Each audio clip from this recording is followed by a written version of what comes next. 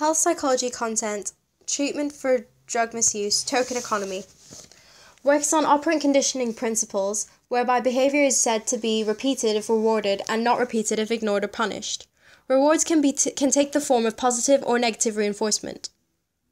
The idea is that substance misuse is maladaptive for the individual and needs to be changed.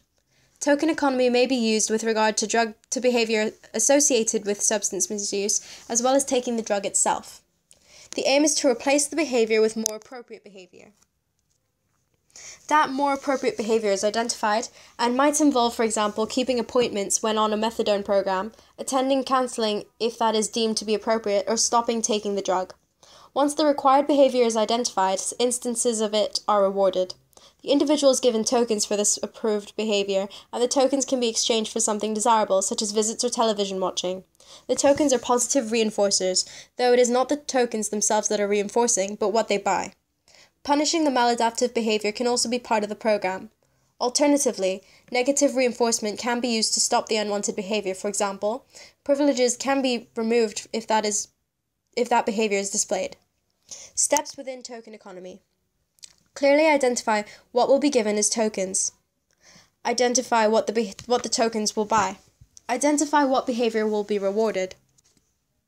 Decide what tokens can be exchanged. Apply the program consistently.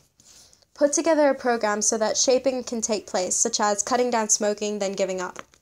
Contingency management therapy. A TEP in current use is contingency management therapy, which involves a voucher system where points can be earned if someone tests negative for drugs.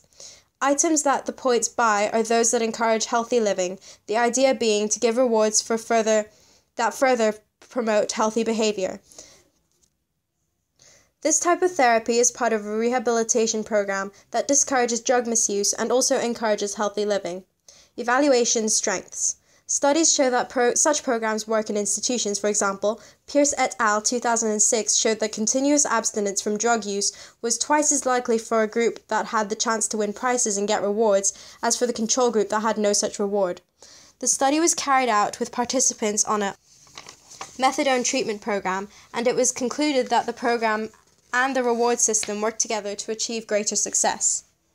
A TEP is ethical in that it can suit everyone and is non invasive and overt. Weaknesses Staff must consistently reinforce required behavior, and with st- different staff, this consistency may not be as easy as it seems to achieve. Such a program can be time consuming and impractical.